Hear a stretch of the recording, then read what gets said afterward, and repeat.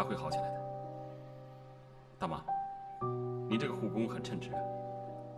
我不是护工，我是小何她婆婆。郑医生，你可一定要想办法救救我儿媳妇。啊，大妈，您别着急啊。沈医生结婚了。是啊，我孙女都一岁多了。哦。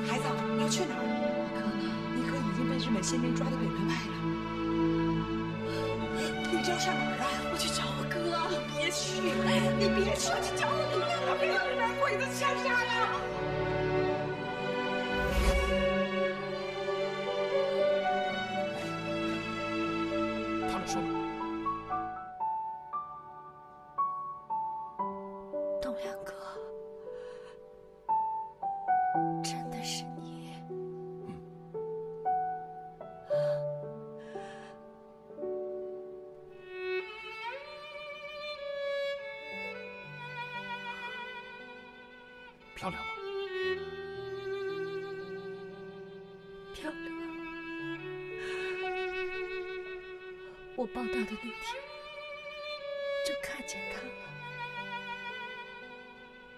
我不敢去想，我真不敢相信，我的东阳哥居然还活着。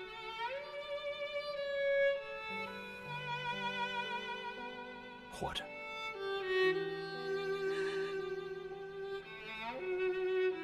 没想到在宁阳会见到这些年，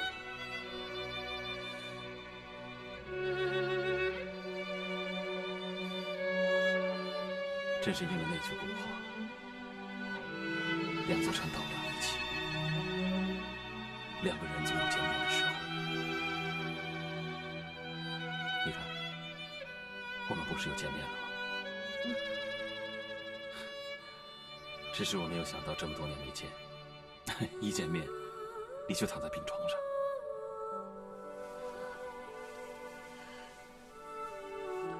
东亮哥，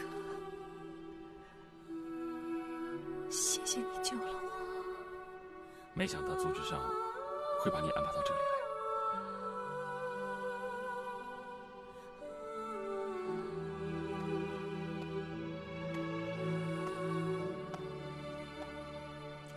你烧退了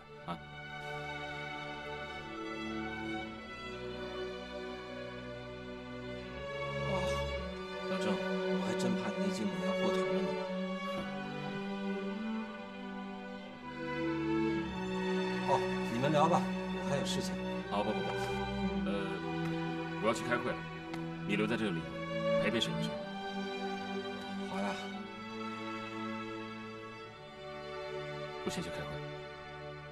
找时间再聊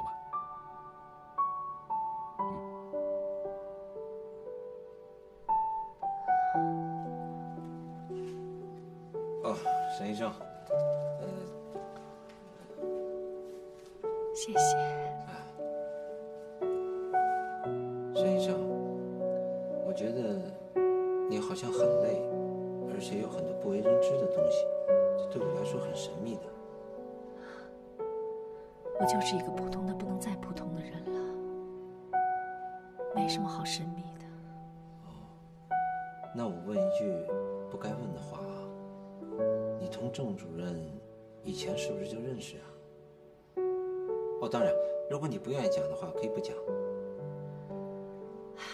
没什么不能讲的。那我愿闻其详。我们俩不仅仅是认识。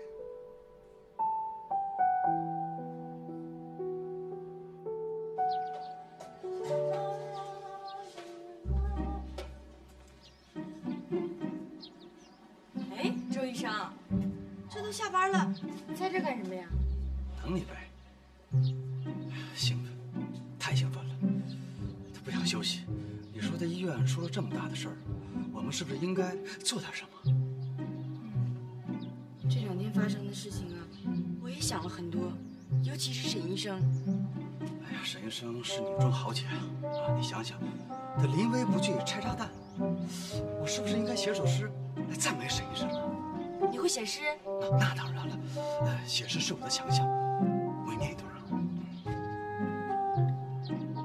啊。啊，你是我们的英雄啊，你的身影永远留在我们的心中啊。我还没念完呢。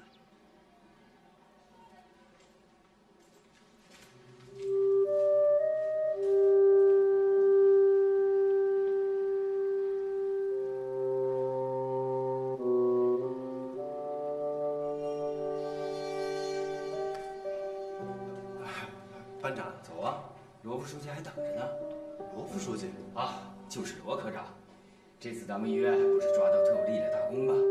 罗科长和郑主任呢都升职了，郑主任是副院长，罗科长是党委副书记。哦，哎呦，好事啊，好事，应该庆贺吧！走走走，哎，好。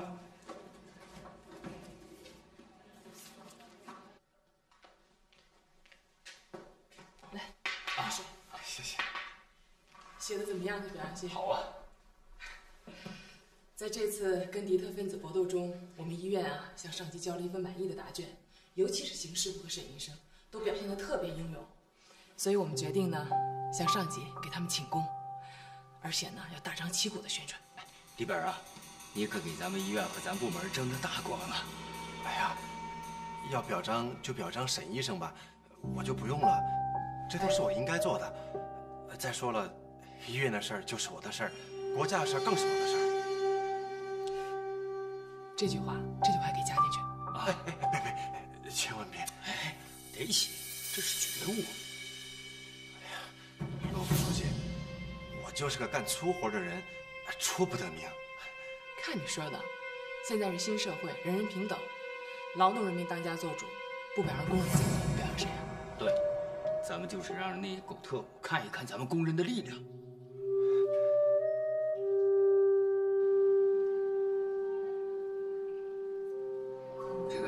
没想通啊？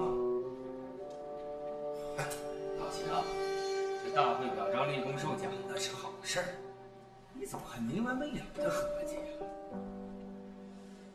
没有，我也知道这是好事儿，以后涨待遇、提工资啥的都好说，而且老婆孩子也跟着沾光。就是啊，只是我觉得人家沈医生的功劳比我大，应该受到表彰的是沈医生。哎，你们两个啊都应该。不过这在关键时刻，沈医生真比咱们老爷们强。真是啊，看来哪天我得带着我老婆去看看沈医生。好啊，你们之间呐，还真应该多走动走动啊。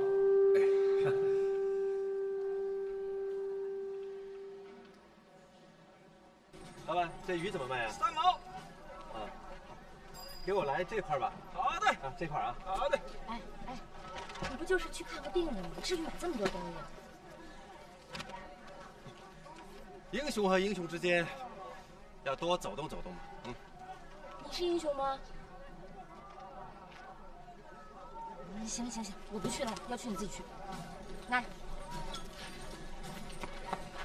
干嘛呀？我脑子真死了。那我咋进死？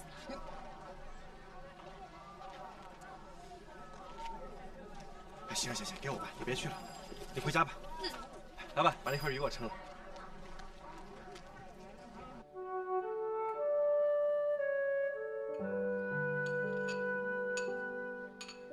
谢谢你送我的花。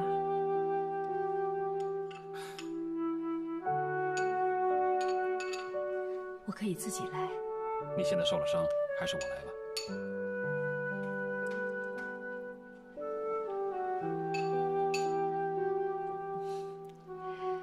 还是那个味道，没有变。一点都没变。哎，说说，为什么要改名字？我想开始我全新的生活。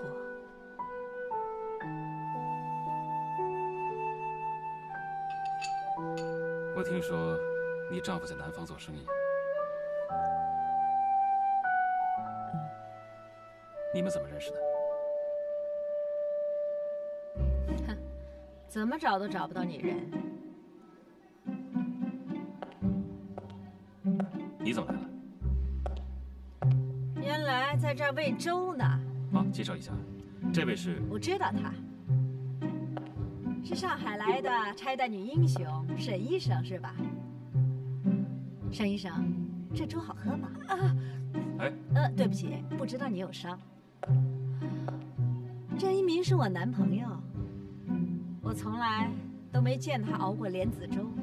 今天托你的福，我终于闻到这莲子粥的味儿了。哎，盛医生，我应该谢谢你。好了，出去说吧。干嘛呀？有什么话就在这说明白吧。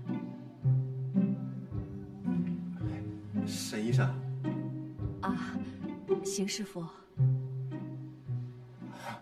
我我就是来看看沈医生的。罗书记，我正找你呢。怎么了？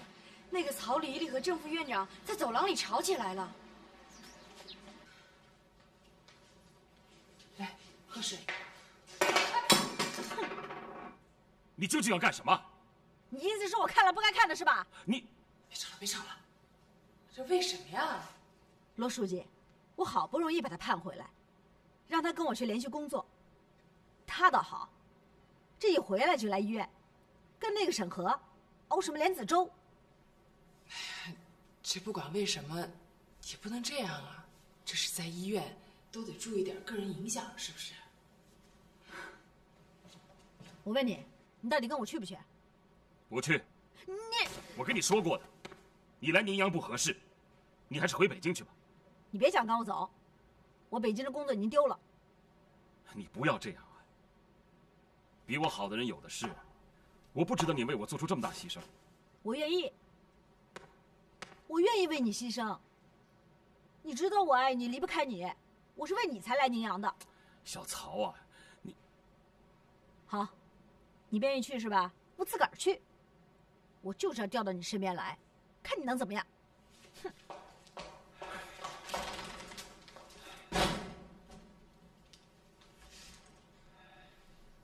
老郑，你太厉害了，有这么爱你的姑娘。哎，你不清楚啊。我怎么不清楚啊？我这看得很清楚，人家是因为喜欢你来到我们这儿，当然，你有点不喜欢他，对吧？但是，我觉得你也不能有别的想法。你这话什么意思？那你给沈河熬莲子粥什么意思？熬粥就是熬粥啊，能有什么意思啊？你跟那陈少凯不一样，他满脑子都是那个资产阶级小情调。沈河呢，从上海来的，难免跟他有点物以类聚。但你不同，你是共产党员，你得注意个人影响。就为了一碗粥？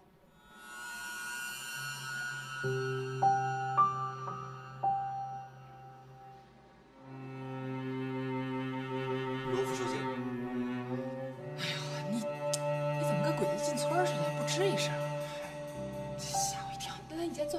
哎，哎，我问你啊，你是年初来的宁阳，这为什么五月份才有人给你证明啊？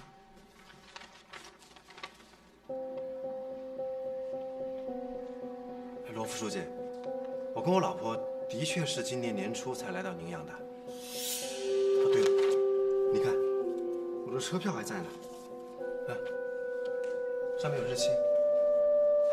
当时那段时间忙着找工作、找房子，折腾了好几个月才安顿下来，所以这段时间就是空白的，我就没往上填。但是你得写清楚，我们树立典型啊，你必须要写清楚，这样才有说服力，要不然人家会怀疑。怀疑？我没有什么可怀疑的。啊不，我不是说怀疑你，我是说呀，你得写得一清二楚，不能有漏洞，知道吧？哦，明白。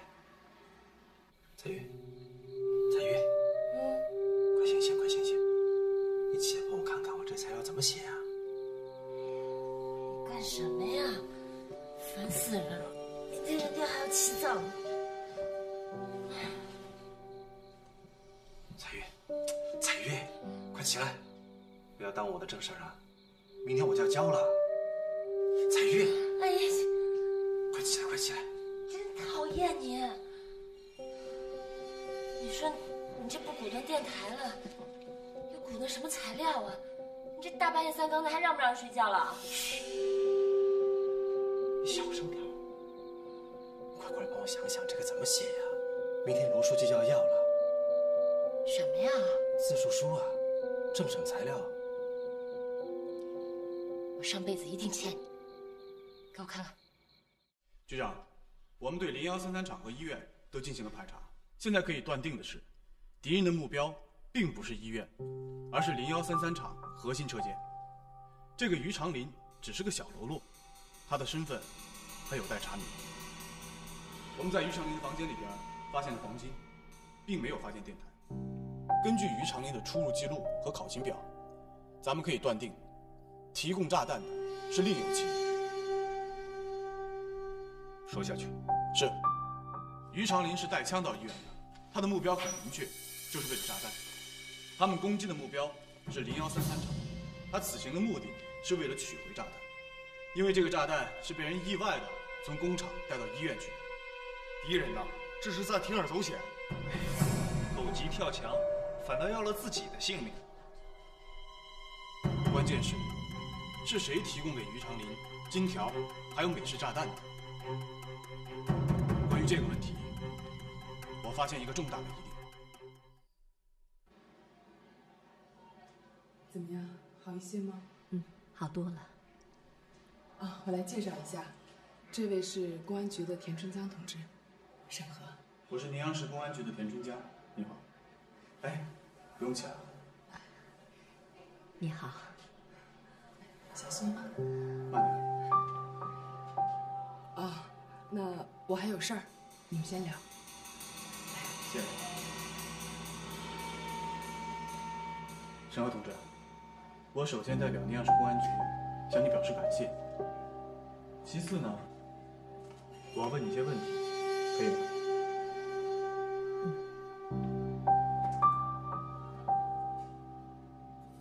你之前见过这种炸弹吗？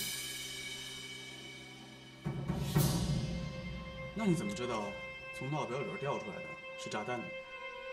我以前看过一个展览，一个揭露国民党特务罪行的展览。哦，是中华路那个展览吗？是中山路。沈河医生，你看过一次你就记住了，记忆力超人。一千多张古药方，我可以倒背如流。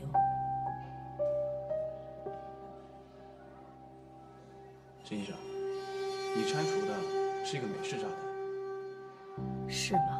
你当时一点就不害怕吗？七七事变的时候，我参加过战地服务队。那个时候我只有十四岁，也算是经历过枪林弹雨吧。还有什么？没了。沈医生刚来医院不久，我对他的了解也不多。那沈医生在医院当中跟谁接触的比较多，来往的比较密切呢？要说平时接触多一点的，应该算是陈少凯医生吧。说说陈少凯吧。嗯，陈医生这个人医术很不错，从小在国外长大，很洋气。陈医生，你不是尼亚人吧？六岁的时候，我随父母到了北平，然后一直在北平念书。抗战胜利以后，辗转到了上海，在上海开了一家小诊所。后来呢？后来我在上海认识了我的丈夫，我们在上海结婚了。你丈夫是谁？上海贸易公司业务部经理。上海解放以后去广州进货，就再也没有回来。我们俩失去了联系。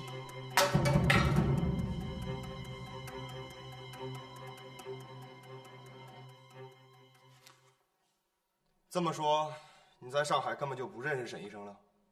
是的，真的不认识？你希望我讲认识是吧？陈医生，请您注意你的态度。我就这个态度。整个医院那么多医生，谁都不问，为什么偏偏问我？因为你是从上海来的。哦，上海来的就要接受审查呀？陈医生，我在了解情况，请您配合一下。了解情况，我还以为你们把我当犯人呢。什么时间回的国？家里还有什么亲人？还有个姐姐。这的确是个问题。但是你想过没有，如果他真是潜伏的敌特，那么他们为什么冒着生命的危险去拆除这个炸弹？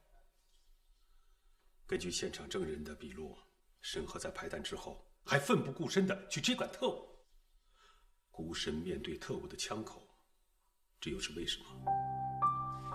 我想过这个问题，不过我们也不能排除，这是敌人用的苦肉计。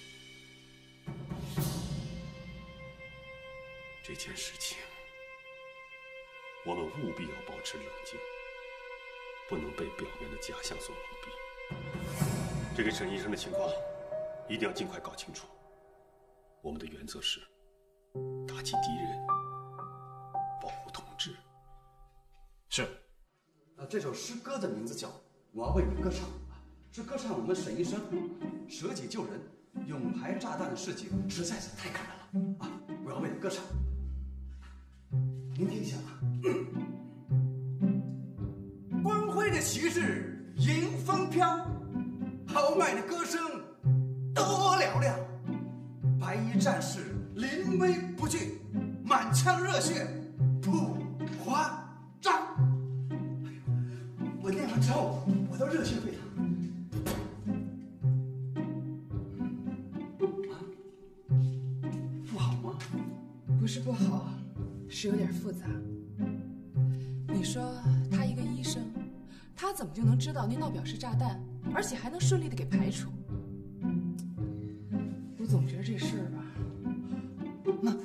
把诗歌贴到宣传栏上了！谁让你贴的？啊，我接我接。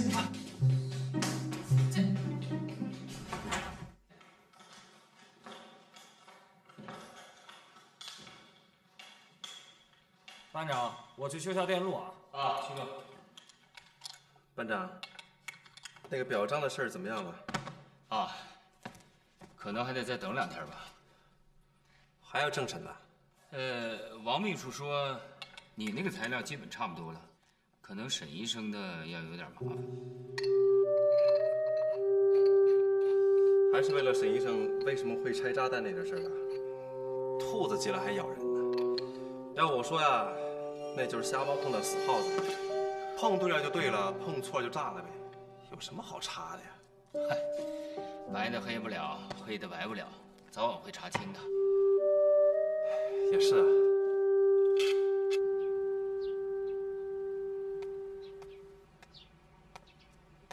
妈，妈，我回来了。毛利说啦，活蹦乱跳的。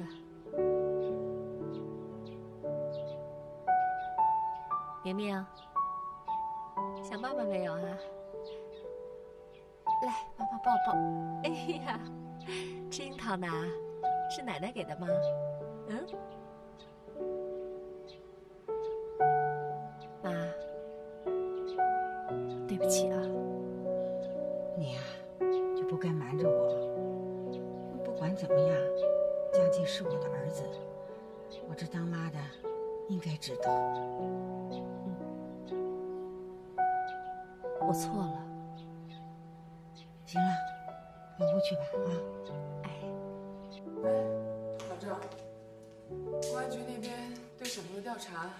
还没结束，现在也没个结果。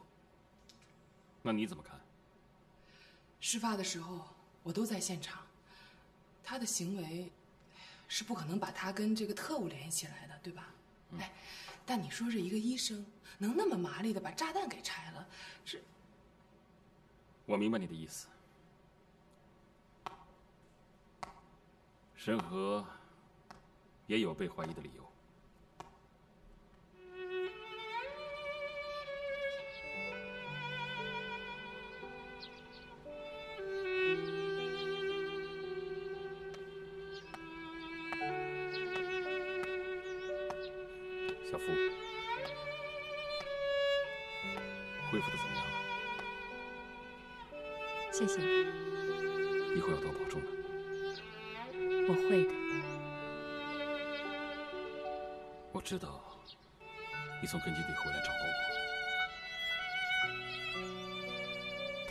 你已经牺牲了。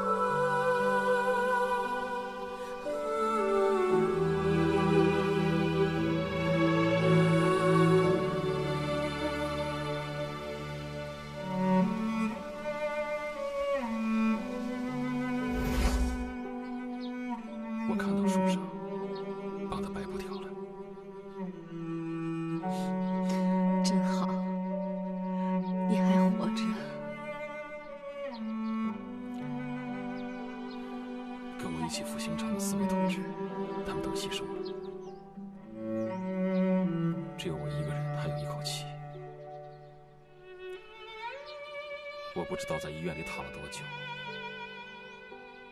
伤好之后，我去根据地找过你，一直没有你的消息，我以为永远都见不到你了。我一直把你放在我心里，一直。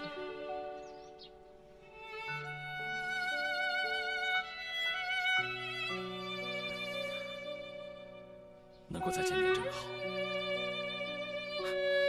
而且还在一个单位里工作，这是我做梦都没想到的。我很珍惜他。我也是。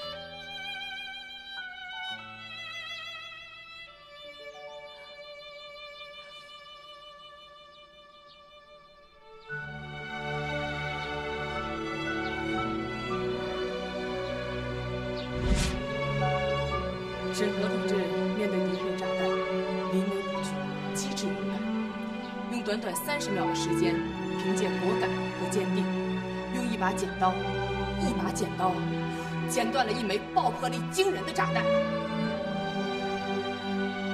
这一剪子剪得好啊！它剪断了潜伏特务的阴谋，剪碎了国民党反动派的狼子野心，更剪出了我们新中国英雄的风采。经过上级决定，授予沈河、邢立本同志为反特模范称号。大家用热烈掌声欢迎两位英雄上台。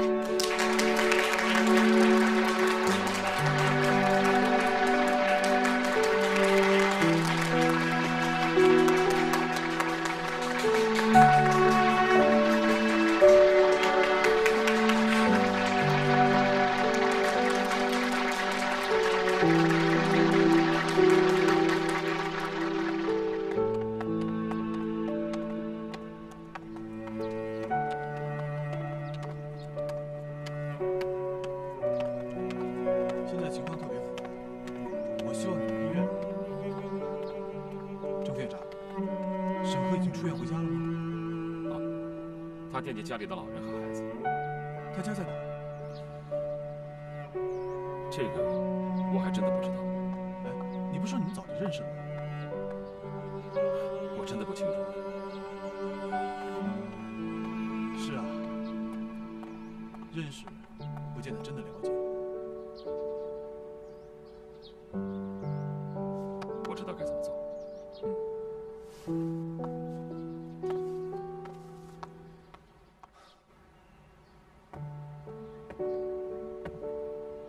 记住，在没有找到李大姐之前，绝对不能暴露你的身份。怎么一个人到这儿来了？我心情不好的时候，就喜欢到这儿来坐一坐。小福，你还是叫我沈河吧。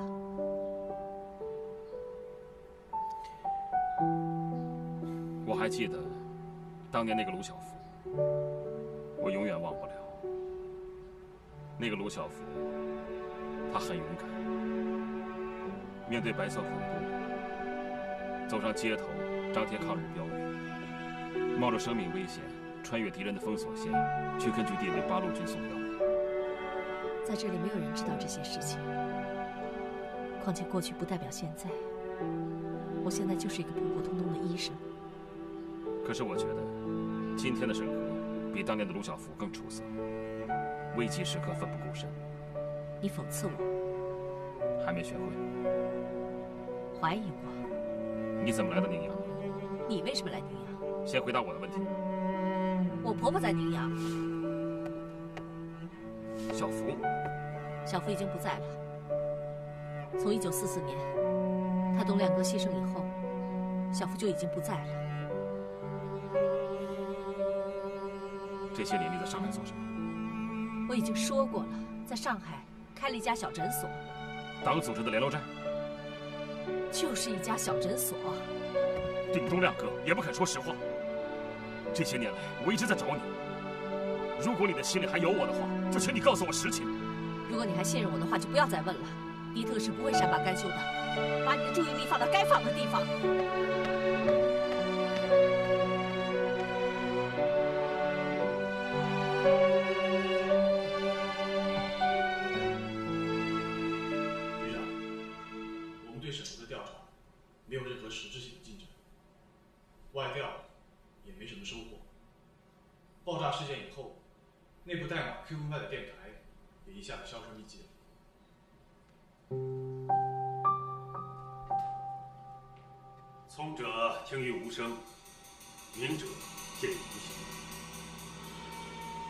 想战胜对手，就要比对手想得更远，看得更深，动得更快，要比对手更聪明。您的意思是，敌人暂时偃旗息鼓，那是迫于我们在国庆大典之前打击力度。但就像东江的蛇一样，一旦他们缓过来，它还是会咬人的。所以，我们不能放松警惕、麻痹大意。你们要尽快的拿出行动方案来。是。哎，老郑，走到会场看看去。我坚持我的看法，表彰会召开的不是时候，这是个失误。我都说了多少回了，这是振奋人心、鼓舞士气的事儿。再说，马上要国庆了，这是好事儿。你看大伙儿的气氛多好啊！我还是觉得有些操之过急，有些问题还没有搞清楚，而且公安局那边还在审理，你这是贸然行动。这该查的都查了。再说了，这是院里的决定。但是我不同意。哎哎哎，你怎么了？这是？你这样做会把问题复杂化的。哎，你管你的业务，我管我的党务。现在你听我的安排，走。你这是急功近利，不合适啊！哎，你说谁呢？我希望你头脑清醒一点，脚踏实地，一步一个脚印。你去不去？还没想好。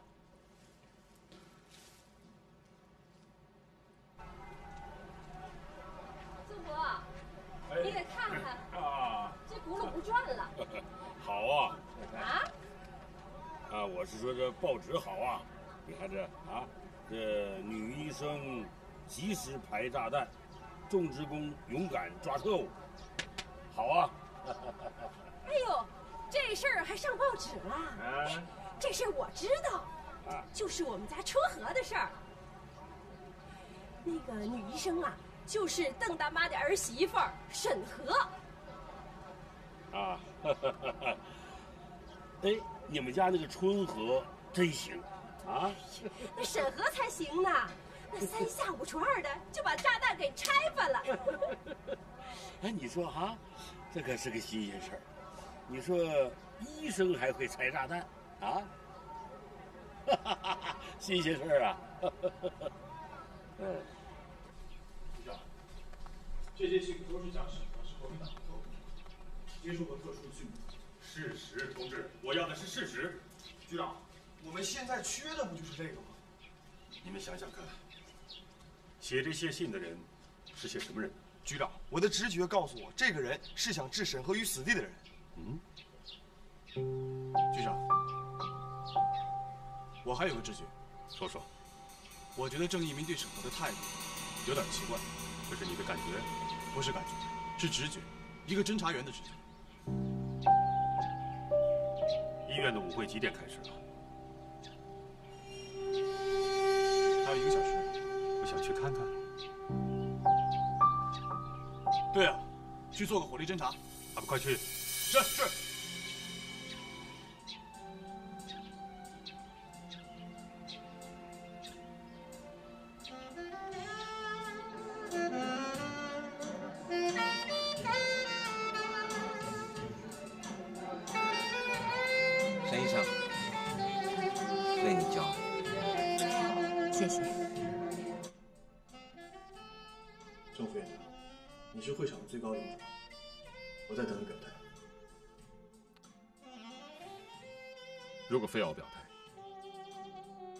能说我还没有想好。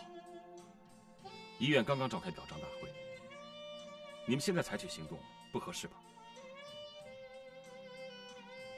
如果必须是现在带沈河去公安局，你们应该采取一种相对缓和的做法。我会注意的。这么说，你同意了？检举信是写给公安局的，不是写给我们医院。我尊重你们的意见。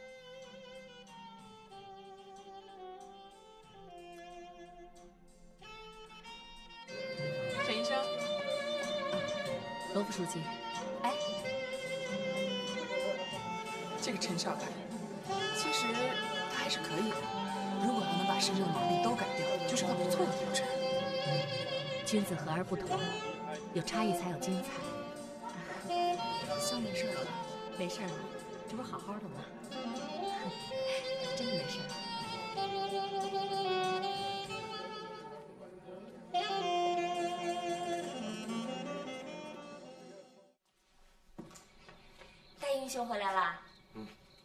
奖励你的。也挺有心的。哎，那这样一来，你的危险是不是就排除了？没那么乐观。啊？今天在医院的舞会上面，沈和被公安抓走了。什么呀？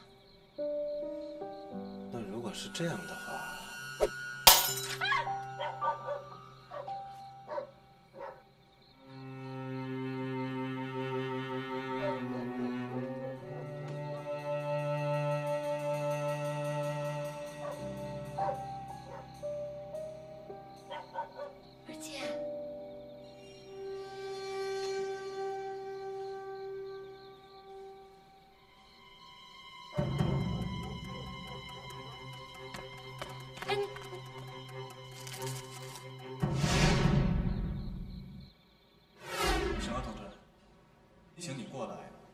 是我们需要再调查一些事情。你也看到了，这是我们办公室。我知道，但是该说的我都已经说过了呀。那就麻烦你再回答一次我的问题，可以吗？嗯。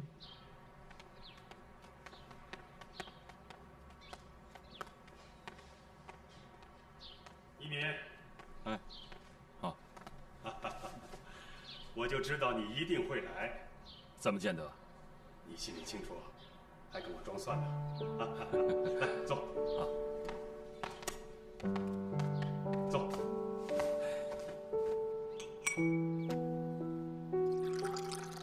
这次我过来是以个人的身份作为审核的同乡校友战友的身份来为他作证。抗日战争胜利以后你在哪上海。还是开诊所？为了谋生。沈河同志，我是为了你好，希望你交代你的问题，这样对你有利。我不喜欢“交代”这个词，我不需要交代。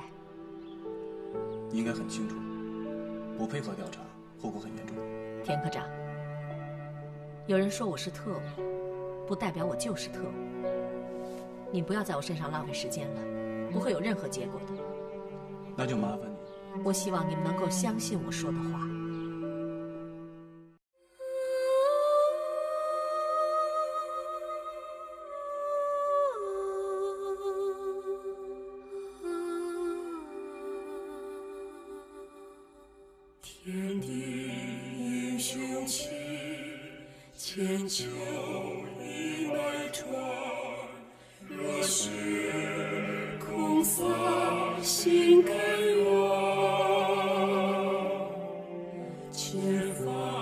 今宵去，美丽又人间。